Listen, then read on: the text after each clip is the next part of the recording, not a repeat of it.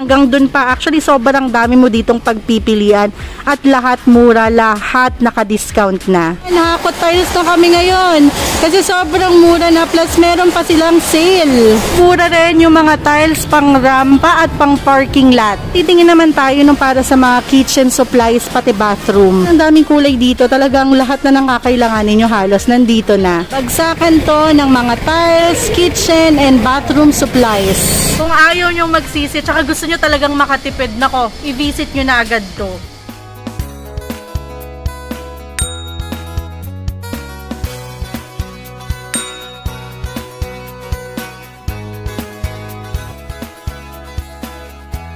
Welcome back sa aming YouTube channel! I'm Mami O! So for today's vlog, nako, maghahanap na tayo ng mga tiles na gagamitin natin para sa ating mga bahay. Magka-canvas na rin tayo ng mga toilet and kitchen accessories. So, samahan nyo kami.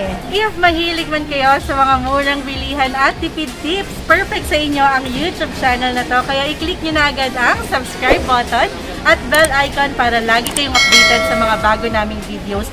At if sa tingin nyo naman na informative and helpful itong video na ito, huwag kayong manghinayang na i-like and comment below na rin for request and suggestion. So, simulan na natin ang ating shopping vlog dito sa Mariwasa in 3, 2, 1.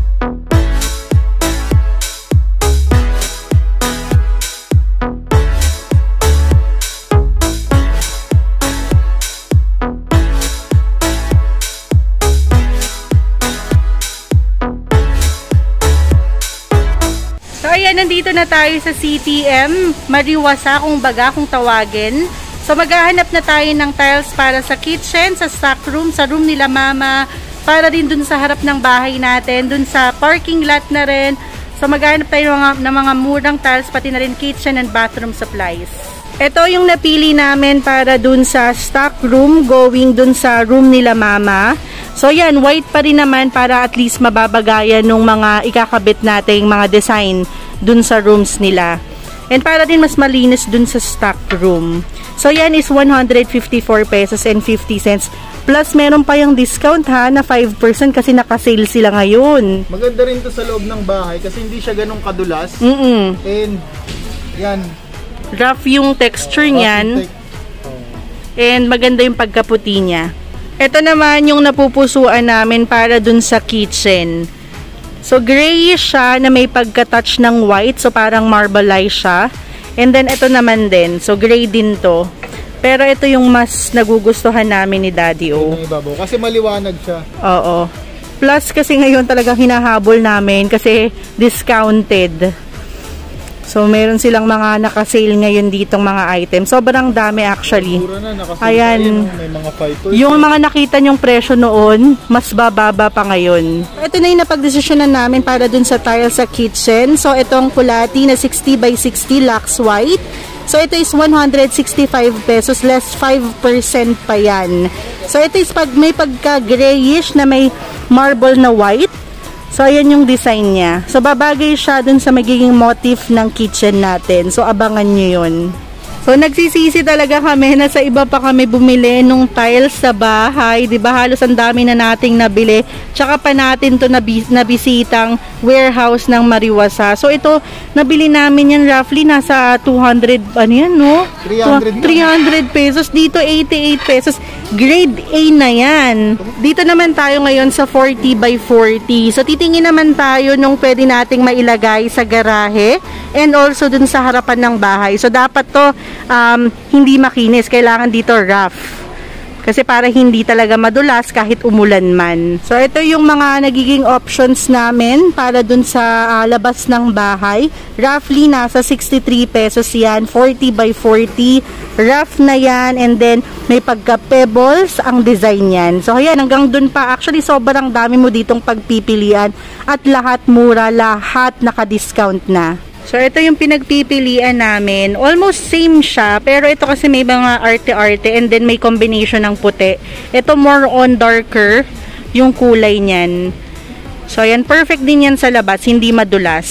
So, ito 50 pesos and then ito 63.50 less 63.50 less 5% pa.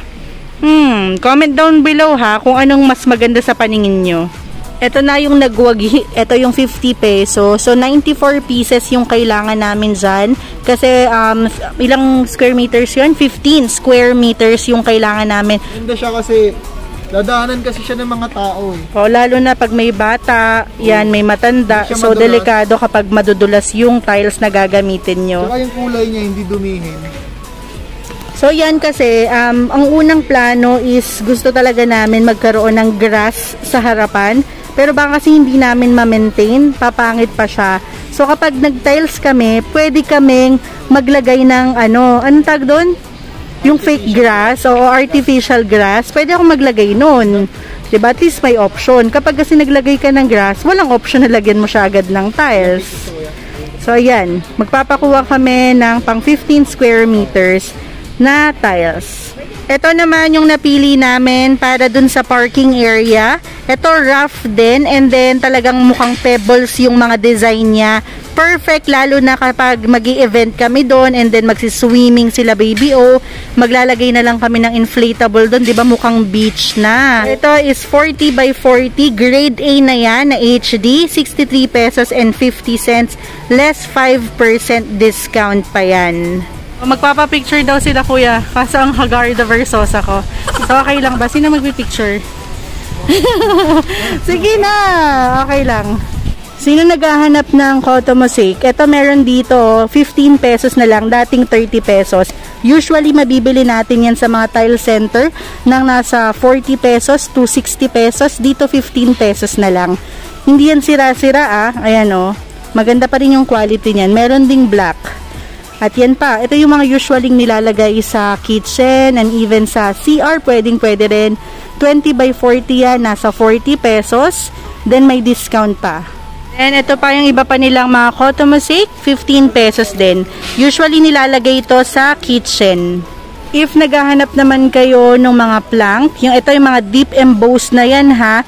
So this one is nasa 2,750 pesos per box. So yung per box niyan is nasa 10 pieces. Ang gaganda pa ng kulay niyan. Ganitong ganito talaga yung binabalak naming ipalagay dapat dun sa mga rooms. Sadyang nagbago lang isip namin. Pero yan, maganda yan. So pa yung iba nilang mga wood plank tiles, 165 pesos per piece. 20 by 90 yan and sold per box. So yan, may discount pa yan ng 5% kapag makahabol kayo dun sa sale nila. So ito perfect for wall tile, especially dun sa mga CR and kitchen. So yan is nasa 15 pesos per piece, sold per box. So yan pa, oh, sobrang daming kulay dito. Talagang lahat na ng kakailanganin nyo halos nandito na. So yun pa, may colored tiles, 18 pesos naman, 20 by 40. So again, kapag pupunta kayo dito, make sure na nasukat nyo na yung lugar nyo. Kahit hindi nyo alam kung gaano karaming tiles ang bibili nyo, basta nasukat nyo lang yung lugar, sila na mismo magkukompute para sa inyo. Huwag kayong mag-alala kasi ganun yung ginagawa namin. Susukatin lang namin yung lugar like 15 square meters, 18 square meters, 20 square meters. Then meron na silang pang-compute. Huwag kayong mag-alala. Yan yung ganitong autumn ivory na 30 by 30, 26 pesos sold per box. And then ito merong 53 pesos, 40 by 40 naman to. Pero less 5% pa yan. So, nakapili na tayo ng tiles para dun sa kitchen natin, sa stock room, meron na rin para sa garahe at parking. So, magtitingin naman tayo nung para sa mga kitchen supplies, pati bathroom. Tignan natin yung mga presyo ulit dito kung may mga mas pababa pa bang presyo. Hugas kang kamay. Wala naman tubig dyan. Sa ganito, naghahanap kami ni Daddy O. Yung ganyan. Para sa first floor na CR. So, yung ganyang enclosure, 14,500 pesos. Then, may discount pa yan. So, ayan pa. Ito 13,000 lang. 13,000 pesos yung ganyan. Uy, less 10% nakalagay. Customize kaya sila dito. Ang ganda, no? Ligo ka. diba? Ang saucy. Para rin hindi matalamsik yung mga ano, tubig. Talamsik. Diba? Para ang, tsaka parang ang ano, ang ganda nung glass niya. Matibay. Kami lang ba, yung gusto rin magpalagay ng ganito sa bahay, para 'di ba, less away sa mag-asawa, para hindi nagkakasisihan sino yung hindi nagbuhos, ganyan. So ayan, gusto ko rin talaga magpakabit ng ganyan sa bahay. So roughly nasa 3,850 pesos yung ganyan. Di ba, Daddy O? Para less away. Lalo't may anak kaming babae, uupo-upo sa toilet. Oo, toilet seat. true. So, kailangan talaga namin ito. Pero siguro ako sa labas na ako yun. Labas, ano ba yun, kadiri? Ito pa yung iba nilang mga nakapackage. So, yan, nasa 9,300 pesos, less ter, ah, 3% pa yan. So, ayan, oh. So, from 11,518, ngayon ay 9,300, less 3% pa. So, yan pa, merong 9,900 pesos, merong 15,300 pesos, and then meron ding 30,500 pesos. Pero ito kasi, mas maraming inclusions. Sobrang daming kasama sa kanya. Ayan, oh. So, screenshot nyo na lang. Then, ito naman yung mga basin nila with nano coating na yan, nasa 5,000 pesos. Then, meron ding 3,000 pesos naman. Malaki na yan ha. Perfect yan para dun sa family CR. Oo, ang ganda niyan. Yung last time din na pumunta ako dito, sabi ko 'di ba sa inyo, nagagandahan ako dito. This one is 6,150 pesos. Light gray color yan. Sa mga naghahanap dyan ng pedestal basin, meron din sila dito. Rough estimate nasa 2,000 pesos. Then may mga 5% discount pa yan. So, ayan yon. Ito naman is nasa 2,700. Then, this one is 3,500 pesos. Less discount pa. Malaki yan. And ito naman yung mga sanitary package nila. Kumbaga meron ng water closet, meron ng basin, meron ng mga accessories. Usually yung mga ganyan rough estimate nasa 8,100 pesos. Ayan na yung magkakasama. Then, meron din ganito naman, magkano ba to? Yan, 13,200 pesos. Kung baga, hindi ka naman problema, di ba? Lahat na yan, makukuha nyo sa bagsak presyo na. So, ito naman, nasa 5,800 pesos. Meron ng water closet, may basin, meron ng lalagyanan ng soap. Angelo package yan. Less 5% pa yan. Then, ito pa. Meron din dito, nasa 4,800 pesos. Package na rin yan. Less 5% pa. Then dito rin, meron ding mga shower, may faucet, iba-iba na rin yan. And for example, yung ganito, nasa 11,950 pesos. Exposed yan na. Yung amin kasi exposed ang pinili namin para in, in case na magka-problema, mas madaling uh, masolusyonan. Kumbaga madaling mapalitan. Unlike dun sa nakatago yung mga uh, yung mga tube, 'di ba? Magbabakbak ka pa ng tiles, mas malaking gastos pa. Ang ganda talaga nitong package na to, oh. Lalo na yung kulay niya, gold, polished look. So, yan is gold finish na yan, 4,050 pesos. Yung tatlo na yan. So, talagang combo na siya. And then, yung nasa taas na rack, yan naman nasa 2,520 pesos. Meron din sila mga black ha, nagre-replenish sila every now and then. And then, meron din chrome. So, ito, meron silang mga ganito naman na type. 3,750. Tatlo na yan. Then, yan pa. Merong 870 pesos. Merong ganito naman na 800 pesos naman. Aluminum matte black finish na yan. Then, ito pa yung mga towel bar. Nasa 495, may 695, meron ding 1,395 pesos. Pero kung ako yung pipili, ito yung bibilhin ko. Kasi ito is, marami na siyang gamit. Pwede mo pang maitaas para hindi nakahambalang sa daanan. Then, meron pang mga sabitan. So, marami ka na mapaggagamitan yan. Unlike na bibili ka nitong 495, bibili ka pa ng sabitan. So, doble-doble, tapos ang dami mo pang lalagyan sa bahay mo. Dami pang mga ikakabit. Kung gusto nyo makita yung mas detalyado na vlog ko dito, yung pinakita ko talaga yung bawat items, yung mga presyo, updated price, then may discount pa ngayon yan, i-visit nyo na lang yung last kong vlog dito. Ilalagay ko na lang yung link sa description box. Yung ganito naman na stainless steel kitchen sink with complete fittings na yan ha, with anti-moist na rin, 6,199 pesos. So, ito yung hindi ka na magpapalit-palit, hindi magkakaras, hindi magkakapitan ng dumi basta-basta. Perfecto. So, yung ganito naman na stainless steel kitchen uh, sink, single bowl na to, then mayroong drain board. So, ito is 2,899 pesos. Again, stainless na to, Team O, kaya hindi na kayo lugi. Unlike dun sa nabibili na mas mura nga, pero hindi totoong stainless. And yung ganito naman, mas maliit to na kitchen sink.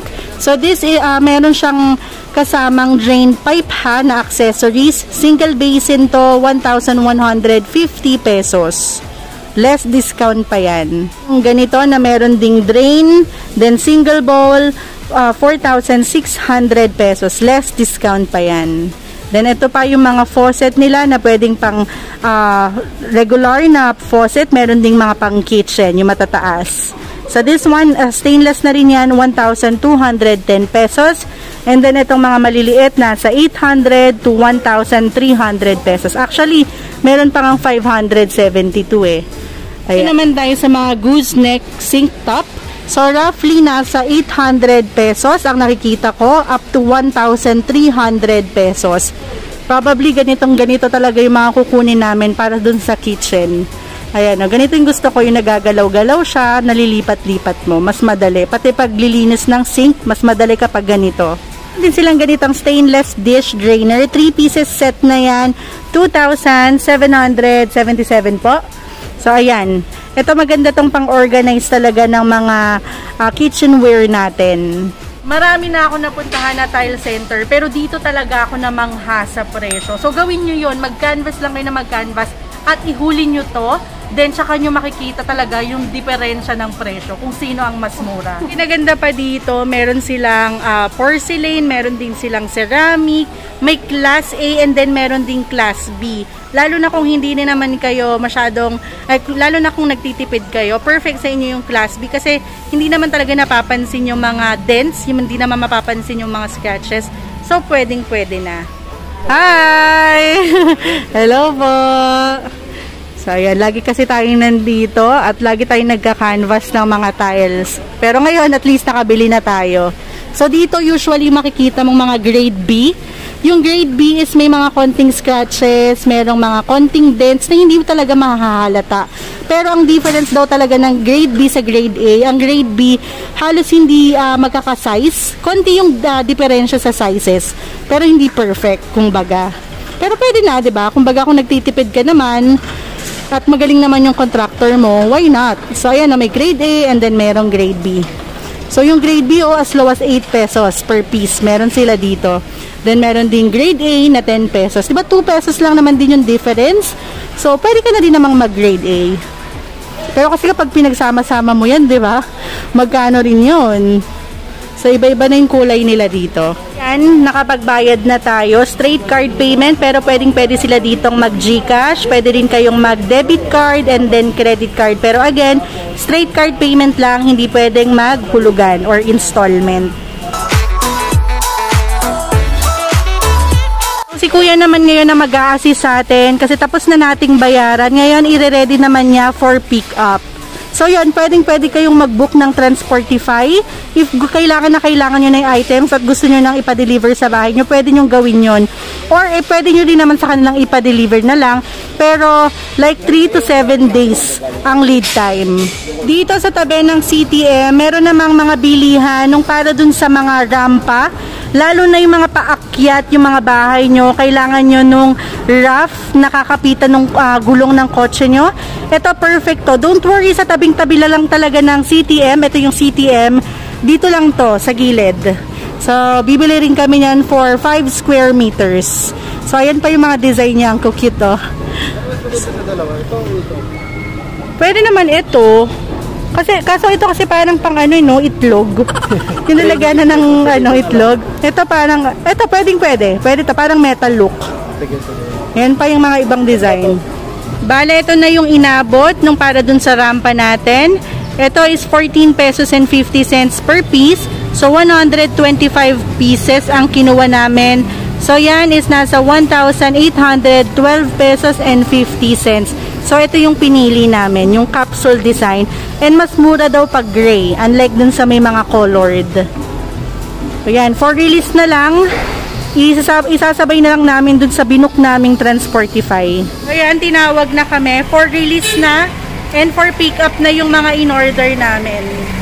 So, tamang-tama, nakarating na rin yung binook naming Transportify. Nasaan na, kuya? Na, ha?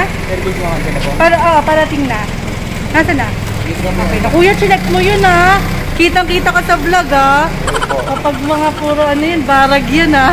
Pag may mga barag naman po, pwede isole pa. okay, so yun naman ang kinaganda dito kapag may mga dents or may mga basag dumating sa inyo, pwedeng pwede nyong ibalik, pwede nyong papalitan. Yan sila kuya. Hi. Thank you. o dito naman yung releasing area nila. So lalo na kapag ipipick up nyo na agad yung mga tiles.